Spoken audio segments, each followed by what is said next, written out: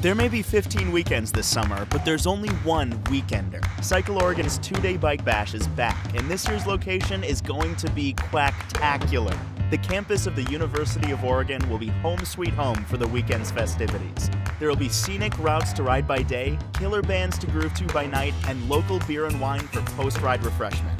This one-of-a-kind cycling event has it all. So join us for one weekend that will make your whole summer.